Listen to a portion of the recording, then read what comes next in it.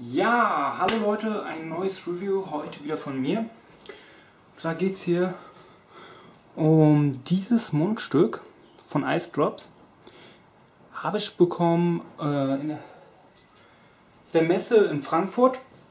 Ja, was kann das Ding? Es ist ähm, mit Liquid gefüllt, also so Gel-Liquid. Und das muss man auch in die Gefriertruhe tun. Ja, ihr kennt vielleicht hier dieses Ding. In Deutschland mittlerweile bekannt als Eisbazooka. Das hier ist noch der originale Mystic Eishaus-Tipp aus den USA. Vielleicht erinnert euch an das Review. Es war vor ein, zwei Jahren, da haben wir den Hype damit nach Deutschland gebracht.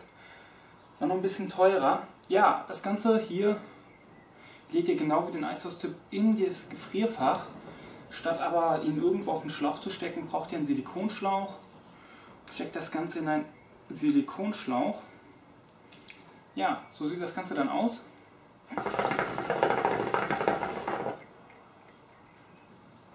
Der Nachteil und der Vorteil dieses Dings. Also, es kühlt auf jeden Fall. Der Nachteil ist, man muss es halten. Ich halte es immer hier unten irgendwie, weil es halt doch sehr, sehr kalt ist. Ich würde sogar sagen, kälter ist der Mystic Eishaus-Tipp. Das könnte wiederum daran liegen, dass das Ding hier eine Doppelwand hat und das komplett mit Liquid gefüllt ist. Beim Eishaus-Tipp oder Bazooka Bomb, wie man ihn noch nennt in Deutschland, sind ja mehrere kleine Gelpäckchen drin verbaut. Das Ganze wirkt auch ein bisschen hochwertiger. Das Problem ist halt wirklich, man kann es nicht wirklich anfassen, weil man es nirgendwo reinstecken kann. Es sei denn, ihr habt einen Schlauch, wo das Ganze hier mit dieser ganz dünnen Öffnung reinpasst. Ich habe keinen gefunden. Ich gucke gerade nochmal rüber, es gibt auch keinen Schlauch, der so eine große Öffnung hat oder so. Daher schade, ne? Ja, ähm, der wird bald in Deutschland zu kaufen sein. Was er kostet, weiß ich nicht. Wollten sie nicht ganz verraten, beziehungsweise hatten noch keine Vorstellung. Und ja, hier oben wird das alles dann so ein bisschen feucht. Allgemein wird das alles von dem Tau etwas feucht. Könnte unangenehm sein.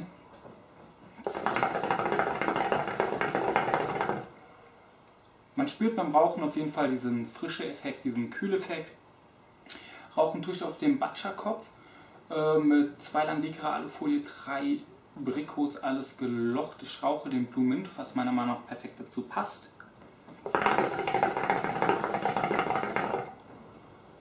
Ich habe jetzt einfach mal im Vergleich beide rausgeholt und schau mal, ob sich da was tut.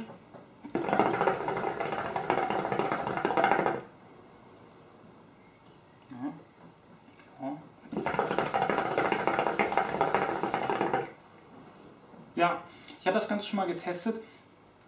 Was mir auf jeden Fall auffällt, wenn man beide raucht, ist, bei der Eisbomb oder Mystic Eishaus Tip kommt dieser kühle Rauch ein bisschen intensiver rüber. Da spürt man dann auch im Hals, dass das kühler ist. Das kann daran liegen, dass man hier ja direkt durch die, dass der Rauch direkt durch die Gelpads gezogen wird und hier ist die Kühlflüssigkeit von außen. Ähm, ja, also ich würde schon sagen, dass man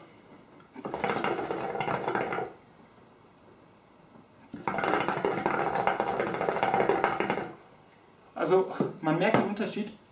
Bei dem Eishaus-Tipp ist das ein bisschen intensiver am Anfang. Jedoch ist mir aufgefallen, wenn ihr in der Wohnung raucht, ist zum Beispiel der So, so Guk, nennt er sich, äh, etwas kühler auf längeren Zeitraum.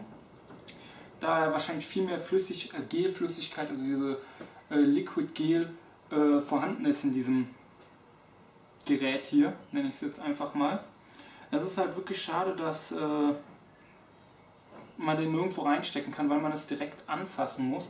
Ansonsten muss ich sagen, von der Verarbeitung ist es ganz gut.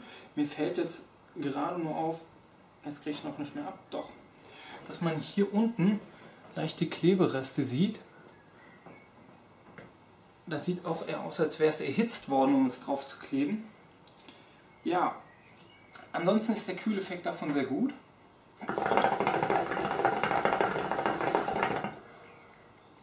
Ähm, das ist der Nachteil, dass man den nicht anfassen kann gegenüber zum Eishaus-Tipp. Der Eishaus-Tipp kühlt am Anfang ein bisschen stärker als dieses Ding, aber im Laufe der Zeit gleicht es das eigentlich aus. Der so gut hält auch ein bisschen länger. Daher gibt sich daran nicht so viel. Was zum Beispiel der Vorteil von diesem Ding ist, wenn ihr draußen sitzt. Ja? Es ist wirklich warm, die Tage war es mal über 30 Grad, ja. Und dann habt ihr was, dann kühlt das nochmal in der Hand. Da kann es schon wieder ein Vorteil sein. Was aber auch wiederum fast ein Nachteil ist, weil das Ding schwarz ist und ich glaube, das zieht halt, es zieht halt einfach die Hitze an und es könnte dann sein, dass es nicht so lange hält. Wir hatten das verglichen in der Sonne, hat hier dieses Ding ungefähr 10 Minuten oder Viertelstunde länger gekühlt. Allerdings war es dann auch nicht mehr so ein riesen Kühleffekt, es war vielleicht wie äh, ein paar Eiswürfel in der Boot oder so. Also es war kein großer Kühleffekt da, aber er war noch vorhanden.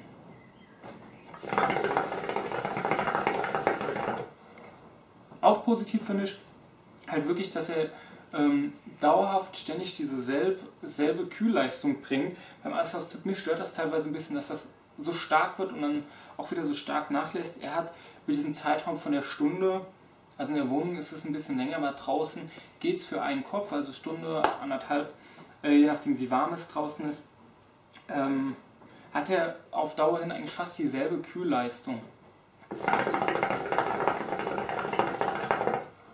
Beim Rauchen finde ich das Ding hier auch ein bisschen angenehmer, weil es halt nicht so intensiv kühlt, sondern halt ständig gleich. Aber im Großen und Ganzen würde ich sagen, geben die, ganz, geben die Dinge sich das nicht. Das heißt, wenn ihr schon eine Bazooka habt, behaltet eure Bazooka. Wenn ihr noch gar nichts habt und euch entscheidet, sowas zu kaufen und äh, es euch nicht stört, hier was Kaltes anzufassen, kann man das kaufen, wenn es nach Deutschland kommt. Ich denke mal, das richtet sich nach dem Preis. Auf jeden Fall, wenn es kommt und äh, ihr sagt, hey, das wäre was für mich, sowas will ich, könnt ihr mit diesem Ding nichts falsch machen, sofern es euch nichts macht, dass ihr etwas kältere Hände bekommt, beziehungsweise von dem ganzen Tau dann vielleicht auch etwas feuchtere Hände. Ansonsten kriegt das Ding von mir 9 von 10 Punkten. Der Nachteil ist wirklich, dass man es anfassen muss. Ansonsten kann man mit dem Ding nichts falsch machen. Gerade im Sommer draußen hat man halt nur noch frische, kühle Hände. Ja, ich hoffe, euch hat es gefallen. Das war es dann von mir. Bis zum nächsten Mal.